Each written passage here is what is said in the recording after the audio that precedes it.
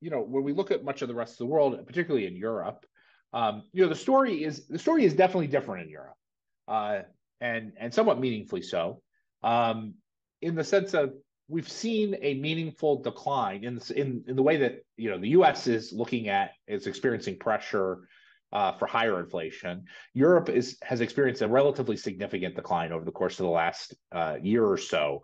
Inflationary pressures we've had the most recent set of prints out of Germany and others showing inflation below expectations, and basically overall European inflation is now you know within a uh, spitting distance of the ECB's mandate.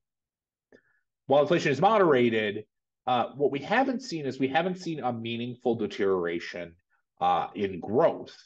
Um, and that I think is important because um, central banks, almost all central banks, are guided significantly by inertia. Uh, they'll be highly responsive in a moment where economic conditions are deteriorating rapidly.